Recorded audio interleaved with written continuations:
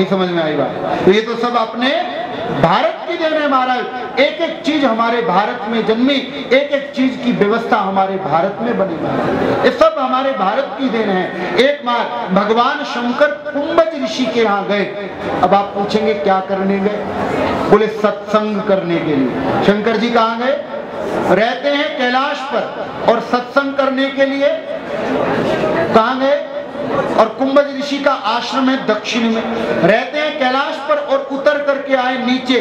किसके लिए? सत्संग के लिए। अरे, आप कितने भाग्यशाली लोग हैं कि आप सत्संग के लिए नीचे से ऊपर आए हैं। भगवान शंकर को तो सत्संग के लिए ऊपर से नीचे जाना पड़ा। आप लोग कितने भाग्यशाली कि नीचे से, अरे बोलो ये बात अलग है कि अभी ऊपर जाना कोई चाहता नहीं है, तुम्हारे वाला ऊपर नहीं है, हमारे वाला ऊपर। हमारा ऊपर की बात अपनी परिस्थिति से ऊपर उठ जाना, अपने ज्ञान में ऊपर उठ जाना, जगत की भाव दशा से ऊपर उठ जाना, और पहली सीढ़ी आज आपने ऊपर उठने की चढ़ दी है। आज आप ऊपर चढ़ गए हैं। आज आप ऊपर बोलो हाँ आपने प्रारंभ कर दी है। के आए कैलाश से कथा सुनने के लिए कैलाश पर्वत पर जगत जननी जगदम्बा, माँ पार्वती जी अकेली रह गई। माँ पार्वती जी, बोलो।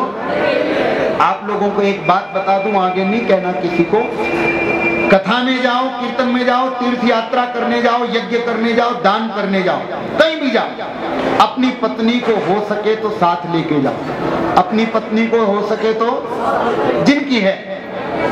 जिनकी जिनकी नहीं है, उनको तो मारा फिर। क्या कहना? जिनकी है और जिनकी कहना मानती है। जिनकी है और जिनकी, बोलो।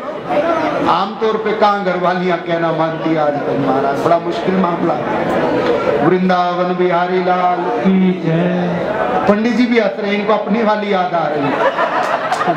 कि हाँ भाई, कहना तो मेरे वाली भी नहीं मानता। कृष्ण कन्हैया लाल की जय। हमारा भगवान शंकर अकेले चले गए। कैलाश पर्वत पर भगवती, जगत जननी जगदम्बा पार्वती ही रह गई।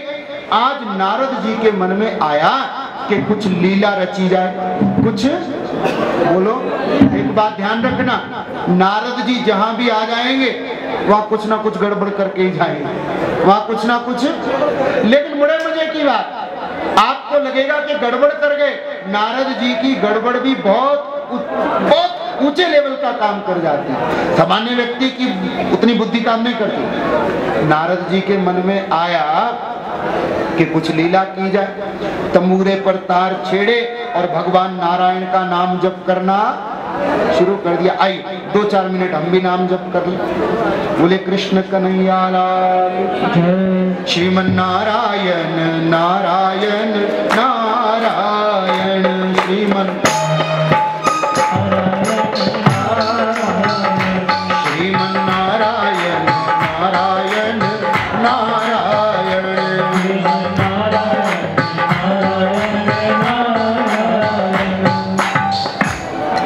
श्रीमन, आपको एक बात बताऊँ, जो कीर्तन में ताड़ी नहीं बजाता ना, उसको अगले जन्म में लोगों के घरों में जाके ताड़ी बजानी पड़ती समझ गए? पंडित जी, माला रख दो कोने में और ताड़ी बजा लो। नहीं तो आगे खतरा काहे हो जाएगा? श्रीमन नारायण नारायण।